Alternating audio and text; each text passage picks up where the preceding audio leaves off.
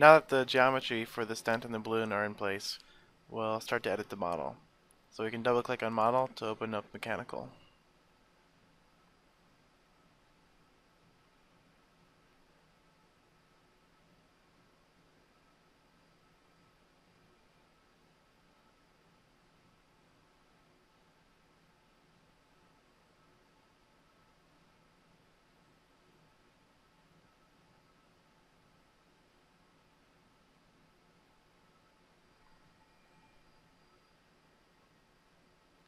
Because this is a pretty complex contact problem, we have to make sure that our mesh is good enough to capture all of the interesting physics that are going to go on.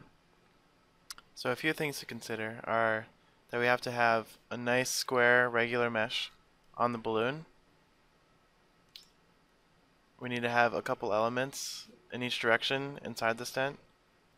And on the symmetry faces, we have to have a couple elements of thickness between the symmetry plane and the inside of the stent.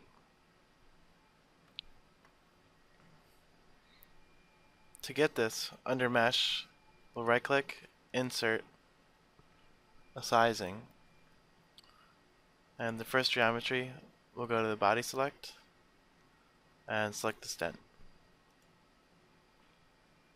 And then from here, we'll use element size, and make sure you're in millimeters.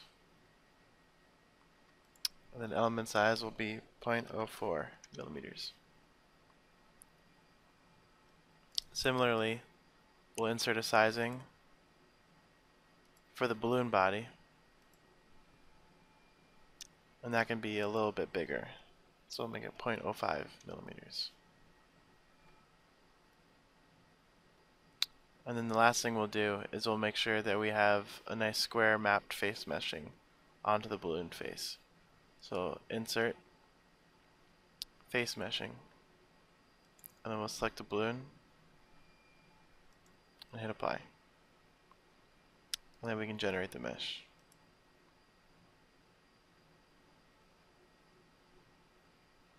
So you see we have a nice square mesh on the balloon face and then we have a nice mesh on the stent where we have three elements in either direction and we have two elements on the thin parts also. So this would be a good starting mesh for us.